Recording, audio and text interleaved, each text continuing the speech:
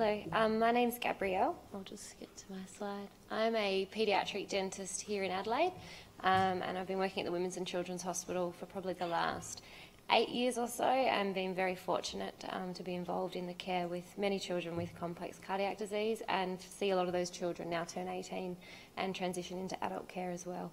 Um, so I'm just going to um, really give some general information about oral health um, and, and dentistry um, and I guess the oral health status of our, our children here in Australia at the moment.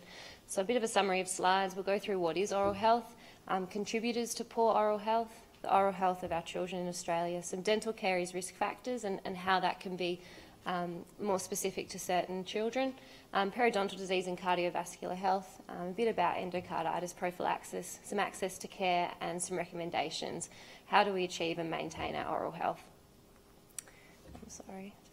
So the World Dental Federation talks about oral health as a multifaceted um, condition. It includes the ability to speak, smile, taste, smell, touch, chew, swallow, and convey a range of emotions through facial expressions with confidence and without pain or discomfort or disease in the craniofacial complex. So it is more than just being cavity or periodontal or gingivitis free. Um, we want to have a smile that everyone's we're confident to, to smile and communicate with our teeth. We want to be um, you know, proud of our smile and, and able to use our teeth doing all the things we need to do.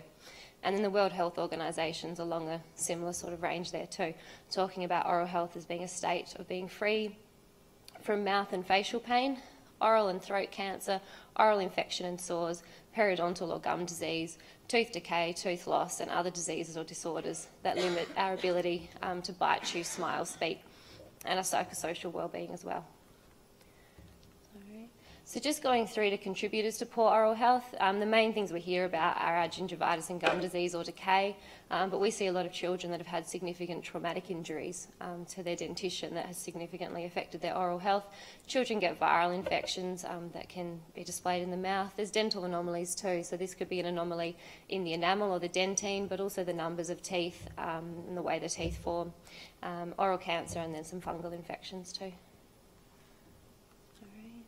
So just our oral health of children in Australia. Um, this slide, I've just grabbed some statistics that I think really um, make it clear that we're not free of dental disease and dental caries recently has increased in our Australian children, but just over 40% of children aged 5 to 10 have experienced decay in their primary teeth. And on average, they have one and a half decayed teeth.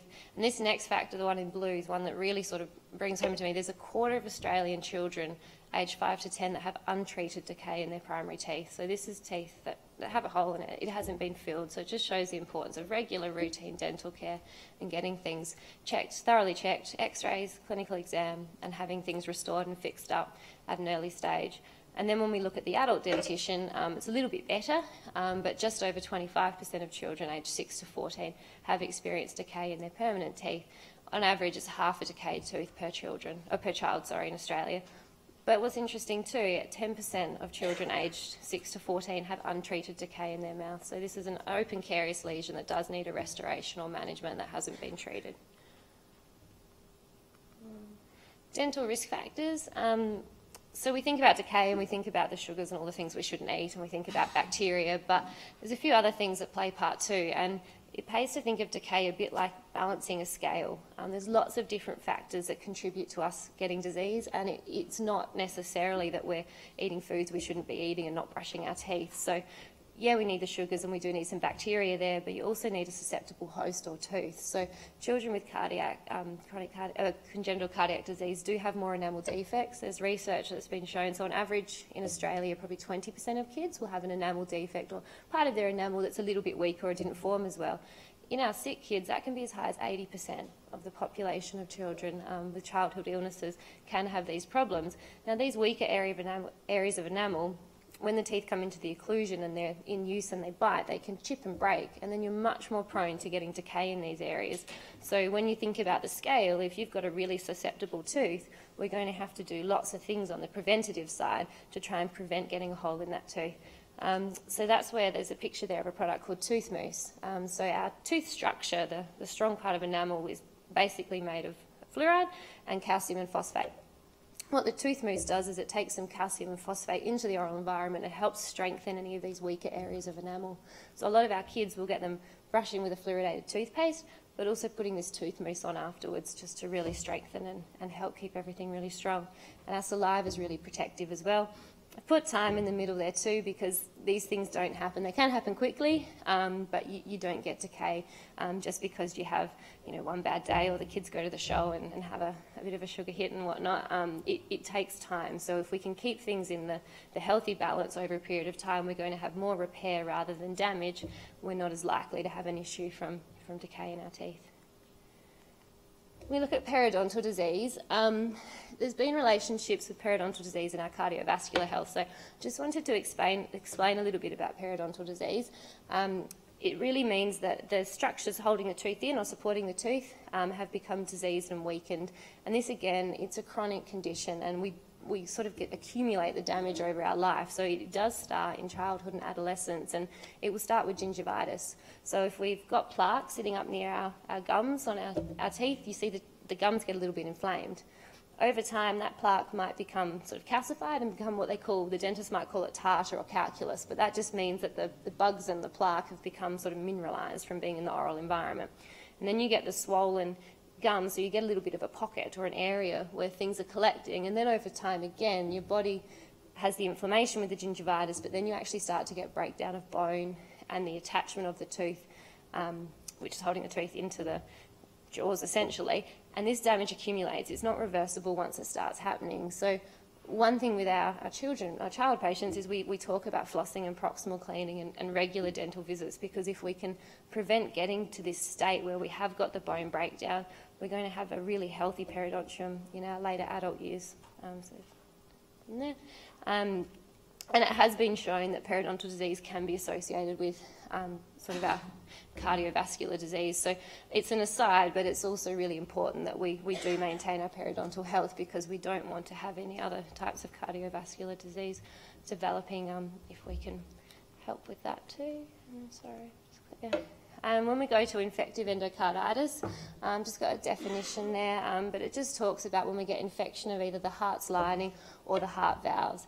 It is fortunately quite uncommon, um, but there's two things that can increase our risk. So having pathogens in the blood, but also high risk heart conditions. And so we have resident flora in our mouth, and they can enter our bloodstream doing everyday things, chewing, brushing teeth, and whatnot. But one thing that, that can increase it is having an invasive dental or medical procedure, which is when we'll talk about our prophylaxis coming up. Um, but the bacteria can settle on the abnormal or damaged um, prosthetic or prosthetic heart tissue and then can cause further damage. It is quite a rare complication, but it's one with dentistry that we are aware of and we will often look at sort of endocarditis prophylaxis. So this has been quite a long-standing practice in America and Australia. Um, there's been some recent changes in the UK, if anyone reads anything there. They've moved away from prophylaxis for invasive dental procedures, but we still do it here in Australia. And it's based on the rationale that we can, um, if we can prevent um, the bacteria or bacteremia um, from an invasive dental procedure um, in a patient with a predisposing heart condition, and hopefully we can reduce their risk of, of having such a complication. Um, and we want to destroy the bacteria that are circulating um, in the bloodstream. So we just give one single dose an hour before a, a dental procedure just to cover for that, that time of the procedure. And these are the um, conditions in Australia by our guidelines um, that we look at now, and relevant today is our um, cyanotic cardiac defects. Um, so um, most moving forward, a lot of um, people that have had Fontan procedures, or most would probably have um, antibiotic prophylaxis. And as a dentist, we'll just get in touch with the cardiologist and, and check um, what their recommendation is. And it's usually orally, just one hour before is sufficient. Um, another thing with dentistry, when we're talking about um, endocarditis prophylaxis, is, is the blood thinners. Um, as dentists, even extracting teeth, um, patients on warfarin, we are happy um, for you to continue on your warfarin. We will talk to your um, cardiologist about this as well, but as long as the INR is within our, our safe range or range that we're happy to work within between our 2.2 and our 4, um, we can use local measures to control um, any sort of bleeding or, or issues from the, the, dental point of view. But if we are able to cease it, if we had quite an involved dental procedure, then we could work through that as well. And then just going through access to care because sometimes the access to dental care is a little bit different to our medical care. Tried to make a little bit of a diagram for how things work here in South Australia. Um, so the tertiary, tertiary referral hospital setting up the top is the children's department and we can be have patients referred in to us from the public or private sector and you can be referred in by your cardiologist or medico um, or even from your general dentist um, if you're eligible for care with us. In the private sector, there's paediatric dentists, so they're dentists that have done their five years of dental training but then have done further education in the field of paediatrics, working a lot with um, a lot of sick children, um, and they'll sort of have that specialist qualification um, to provide a little bit more specialised care. But in saying that, a good general practitioner that's aware of your child's background, um, you know, may be well equipped to provide absolutely adequate care. And then there's therapists as well. In the school dental service or the public sector at the moment, there is a sort of combination of dentists and therapists. The, the tricky thing with navigating the school dental service at the moment is, is a lot of children are seen by therapists and it's often not clear to the parents if you are seeing a dentist or a therapist. So you, you can ask, um, you know, are, are, you the dentist looking after my child or a therapist and who's the dentist overseeing you? And if, if you did feel that your child needed to be seen um, within the hospital, um, then, then just ask and advocate for that and, and see if that is something that we can sort out.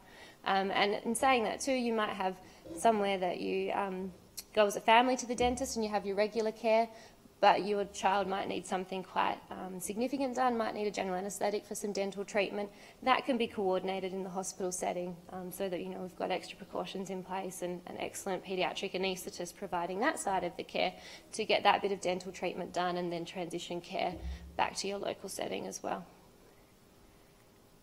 And then just some take-home messages that dental caries and periodontal disease can be prevented and that's the, the best way really to address these issues. If, if we can maintain excellent oral health, have a really good, they call it a dental home, but if you have a dentist that you see strictly, I'd, anyone um, that's had a Fontan type procedure, I'd want to be them being seen every three to six months, um, just for regular checkups, make sure we're staying on top of things, um, and try and prevent any potential problems or complications before they arise. Um, so establish that dental home from a young age.